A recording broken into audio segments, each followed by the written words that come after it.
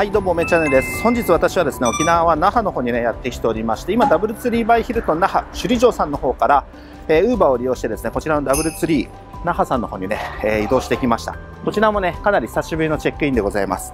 まあ多分ね今2時前なのでチェックインはね、えー、できないと思うので荷物を預けてですねあの海かじテラスの方にね向かっていければなというふうに思います。とりあえずちょっとね中入っていきましょう。よし行こう。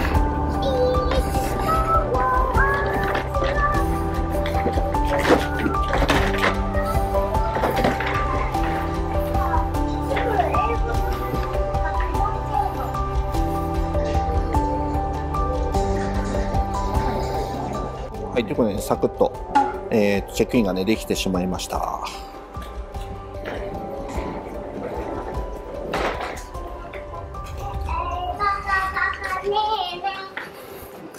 はい。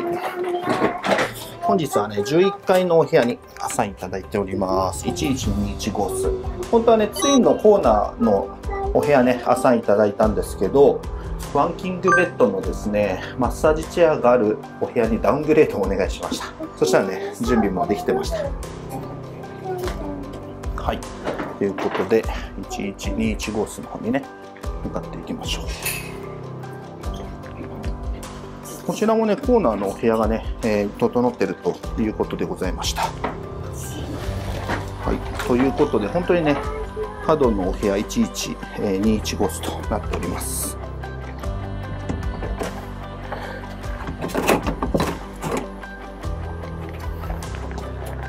入っていきましょう。おおエアコンが めちゃキンキンでめちゃ寒な感じですね。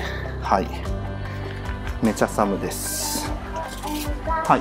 まあ、非常にね、えー、コンパクトですけどまあ、こんな感じでですねマッサージチェアがこうやってあるんで最高じゃないですか。このお部屋をね、えー、お願いさせていただきました。はい。いかがでしょうか？まあ、こんな感じのお部屋なので、まあ、サクッとねちょっとルームツアーしていきたいなと思いますけど、はいえー、本日のお部屋ねエレベーターホール出て、えー、右手のこの角ですね。はい。で、まあ、こんな感じでハンガーとかねあります。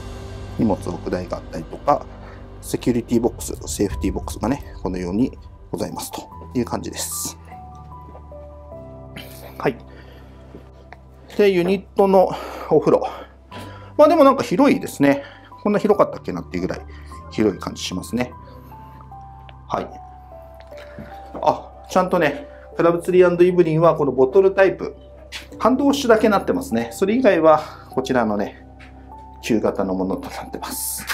まあ、ウォシュレットがあって、バスタブね。まあこんな感じですね。まあウォシュレット付きです。そして、えー、エアコンのパネルがあって、で、こちらがね、キングベッドのドーンとね、あって、こんな、ね、感じのオブジェなんかもございますね。はい。そして、ベッドサイドのパネルとかね、まあ、こんな感じでございます。テーブルがこのようにあったり、ネスプレッソマシンがあったり、はい。電気ケトルがございます。ネスプレッソのポーションは2種類。で、ここをね、ちょっと開けてみましょうか。ここら辺はね、空ですね。はい、そっち開けて。お、冷蔵庫。はい、空です。まあちょっとね、あのー、お部屋ね、変更していただいたっていうこともあって、お水がまだね、ないということですので、後ほどね、お持ちいただけるそうです。はい。そしてまあこんな感じで、マッサージチェアがね、ございます。はい。まあ本日はね、こんな感じのお部屋にね、一泊させていただきます。ビューとかはどうなんでしょうかね。まあ、こんな感じの旭橋の駅の方のね、えー、ビューとなっております。では、明日ね、石垣に行く前の全泊はこちらに一泊お邪魔させていただきます。じゃあね、海かじテラスの方に向かいたいんですけど、まずね、2階のフィットネスセンターね、覗いて、ドリンクをいただいて、ウーバーで移動していきたいなと思いますけど、はい。2階がね、えフィットネスセンター、こちらの奥ですね。はい。こちらがね、えフィットネスセンターとなってます。人ね、今いなそうなので、ちょっとね、覗いていきたいと思います。開かない。難しいんですよね、これね。はい開きましたはいという感じでねまあこんな広さちょっと高さありますけどねこんな感じとなっておりますまあ、十分な広さですねはい。ということでですね、こちらのワーケーションラウンジということで、えー、ダイヤモンドね、メンバーにつきましてはですね、お飲み物セルフサービスで2階までね、えー、行けるということなので、まあ、入っていきたいと思います。まあ、コロナ前にはね、あったんですけど、それよりね、後にはね、特にっていう感じです。今ね、もう貸し切り状態ですね。はい。こんな感じ。で、朝食のね、ビュッフェなんかもこんな感じですね。はい。ということでですね、今中入っちゃいましたけど、えー、17時から20時ですね。ということで戻ってからね、えー、飲みたいと思います。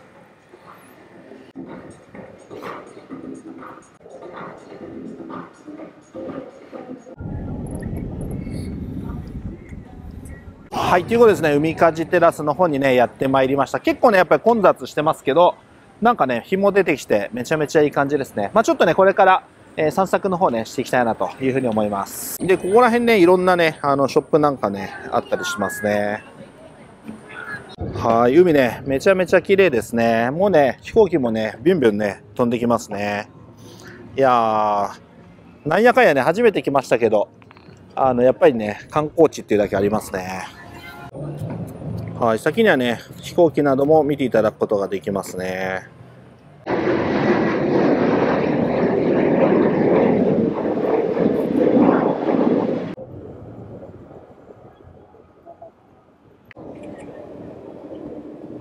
はい、ここなんかもね、結構ホットスポットみたいな感じでですね、あの、ブランコが置いてあるので、まあ、ちょっとね、レイ君とかをここでね、えー、撮っていきたいなというふうに思います。まあ、こんな感じでね、ね、いい感じですよね。はい、お昼時ということもありましてね、まあ、とりあえずここでね、えー、タコライスをね、いただいていきたいなというふうに思います。結構ね、並んでるんですよね。はい、お店ね、結構綺麗な感じですね。はい、いろんなねアイテムがございます。美味しそう。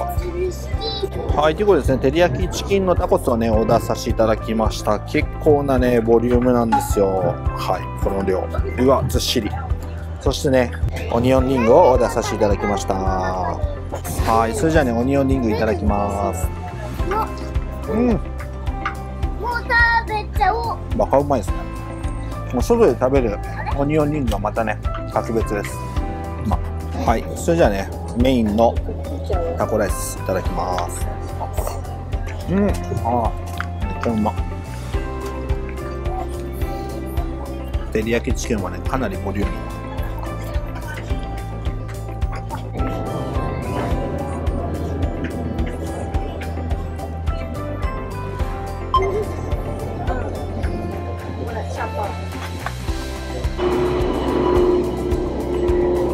はい、そしてね、こういったね、パンケーキ屋さんが、えー、あったりとかですね、幸せのパンケーキですね。はい、チュライチゴ、いちご飴みたいな感じ。さらにね、ちょっと上登っていきましょう。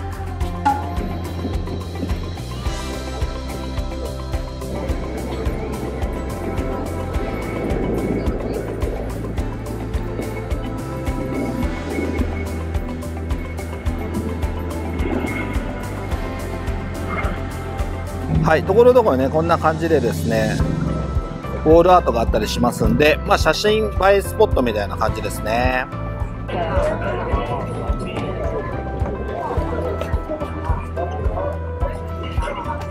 次はねこんな感じの、えー、ウォールアートがございます。レイ君なんかシャツの柄がめちゃめちゃ合ってますね。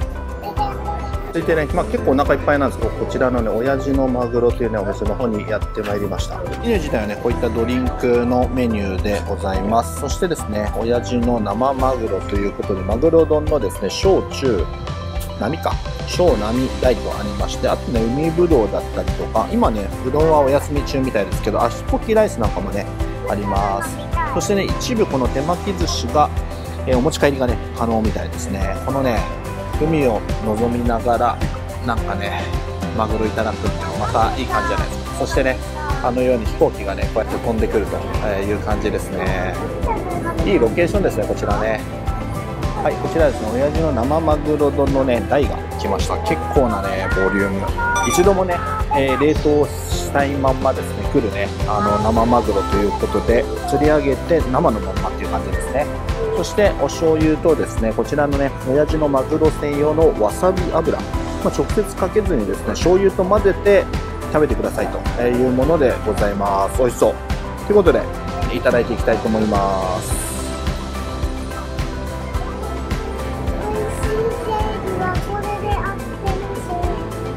はい、じゃあで今日マグロです。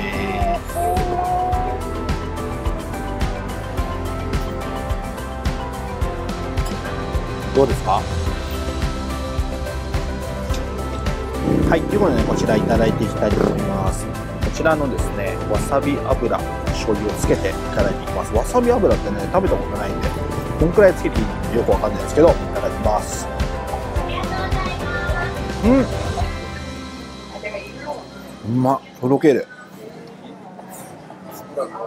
このねマグロが本当に何だろうめっちゃとろける感じでねこれはやばいです。めちゃめちゃ美味しい。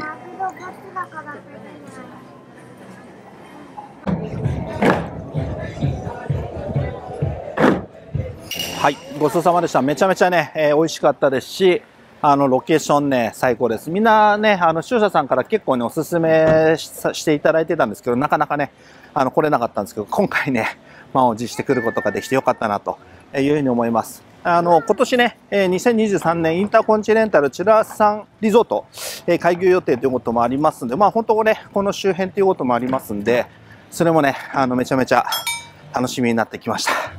ということで、戻っていきたいと思います。はい、ということでね、戻ってまいりました。これからね、ちょっと飲み物をね、飲んでお部屋に戻っていきたいと思います。ということでね、こんな感じのつまみとワインとかね、え、いただける。これ、あれとコロナ前とかね、あったんですけど、当面ね、休止していって飲み物をね、提供してた感じですね。今、今復活しましたので、利用ができるという感じでございます。はい。とりあえずね、えー、スパークリングワインいただいていきたいなと思います。グラスがね、これしかなかったんで、いただいていきます。その他ね、えー、先ほど見ていただいた通り、オリオンビールだったりとか、あの、午後の紅茶みたいなやつ、あとはあの、ファンタのシークワーサーフレーバーみたいなのね、えー、あったりしますね。はい。じゃこれいただいて、えー、お部屋の方にね、え戻ってゆっくりしたいなと思いますけど、まあ、今日はね、えー、特にもうやることありません。えー、22時半からね、ライブをお届けする予定ですので、そちらのね、アーカイブ上の方に出しておきますんで、えー、よかったらね、見ていただければなというふうに思います。えー、今日ね、あの、行ってきたところ、本当にね、良かったですね。あのー、遅ればせながら行っといてよかったなと思います。じゃあね、これいただいて、また明日の朝朝食でお会いできればと思います。おやすみなさい。はい、おはようございます。いや、ぐっすりね、眠ることができました。昨日もね、ライブ参戦、あの、たくさんの方来ていただきまして、ありがとうございました。もうね、えー、間もなく、えー、8時回るところでございますので、これからね、えー、朝食会場向かっていきたいなと思います。行ってまいります。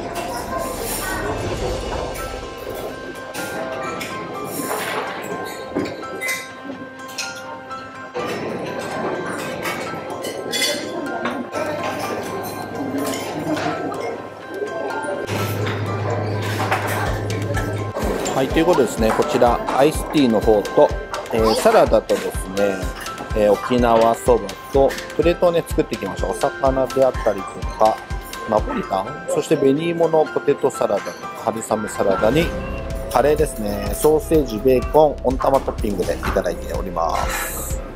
はい、結構ね、賑わってますね。じゃあね、いただいていきましょう。はい、それじゃあね、いただいていきます。まず沖縄そばですね。うん、なんでボーデなのなんでなんか、なんかボーデじゃないうん。うまい。そしてね、カレーいただきます。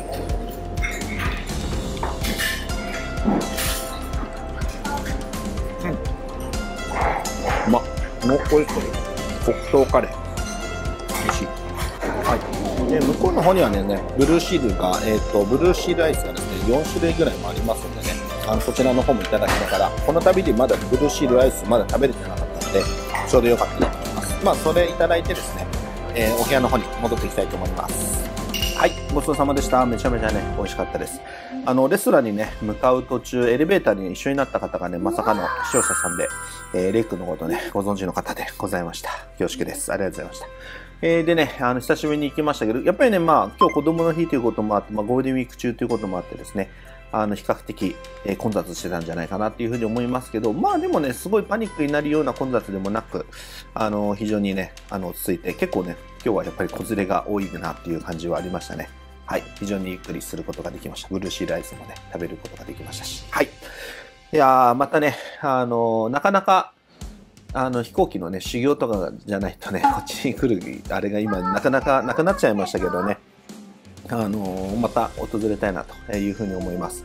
えー、今日はですね、このままあのチェックアウトをね、11時ぐらいにして、えー、石垣島の方にね、え向かっていくということで楽しみでございます。またね、こちらの方にも訪れたいと思います。ということでね、えー、今回の動画につきましてはこちらで以上とさせていただきたいと思います。この動画がためになった、参考になった、面白かったという方はぜひね、高評価ボタンとコメント気軽に残しておいていただければ幸いです。概要欄下の方に私 Twitter や Instagram やってまして URL 貼ってありますんで、ぜひ合わせてフォローチェックよろしくお願いいたします。私の動画の方ではこういったね、ホテルの宿泊レビューであったりとか、航空機の搭乗レビュー、旅に関する有益な情報等を発信させていただいております。情報の見逃しがないように、ぜひね、こちらのチャンネル登録とベルマークのね、通知ボタンを押していただいて、次回の動画もチェックしていただけると嬉しいです。ということで、また次回次の動画でお会いしましょう。